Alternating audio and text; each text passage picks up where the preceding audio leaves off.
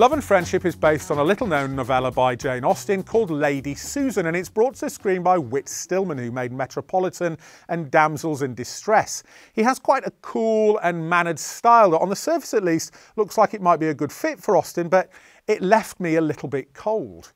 Kate Beckinsale plays Lady Susan a glamorous widow who goes from country house to country house, exploiting people's hospitality and seducing their husbands. But her plans are thrown out of whack when her daughter turns up and starts to fall in love with one of the guys that Kate Beckinsale had her eye on.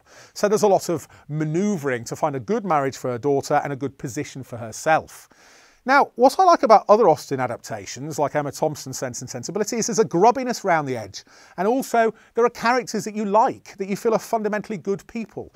In this movie, people are either out for themselves or they are flat out idiots. Kate Beckinsale I thought was actually really good, but a lot of the other performances are so flat that I felt like I didn't really get anything from them. I think it's the directorial style, but like I say, it left me cold and by the end, a little bit bored.